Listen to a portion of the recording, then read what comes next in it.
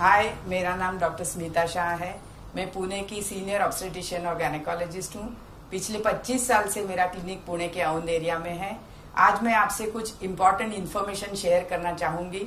Importance of DHA in pregnancy and lactation DHA एक ऐसा molecule है जो शरीर के लिए वाइटल है और ज़्यादातर दिमाग में पाया जाता है।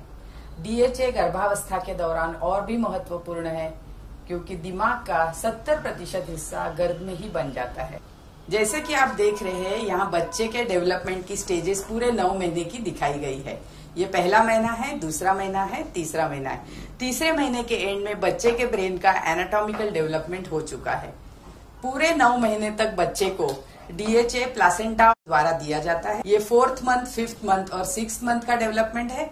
यहाँ देखिए, आप प्लासेंटा देख सकते हैं अम्बिलिकल कॉर्ड देख सकते हैं। अम्बिलिकल कॉर्ड बच्चे को प्लासेंटा से जोड़ता है और ये प्लासेंटा के द्वारा बच्चे को डीएचए मिलता है। Seventh month eighth month and ninth month at the end of ninth month seventy percent of the brain is already developed DHA का महत्व यहीं पर खत्म नहीं होता। डिलीवरी के बाद भी बच्चे के ब्रेन का डेवलपमेंट पहले दो साल तक पंद्रह प्रतिशत होता है।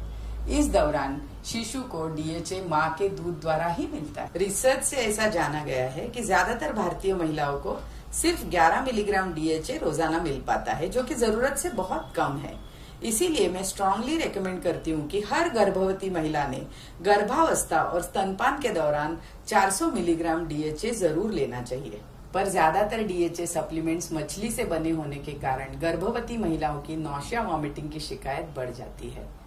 भारत में बहुत सारी गर्भवती महिलाएँ शाकाहारी होने के कारण ये नॉन वेजिटेरियन सोर्स का डीएचए नहीं ले पाती है। इसीलिए मेरा ये मानना है कि अगर हमें कोई वेजिटेरियन सोर्स का डीएचए सप्लीमेंटेशन मिल जाए तो हमारी गर्भवती महिलाएँ गर्भावस्था और स्तनपान के दौरान ये सप्लीमेंटेशन लगातार और खुशी से लेती रहेगी।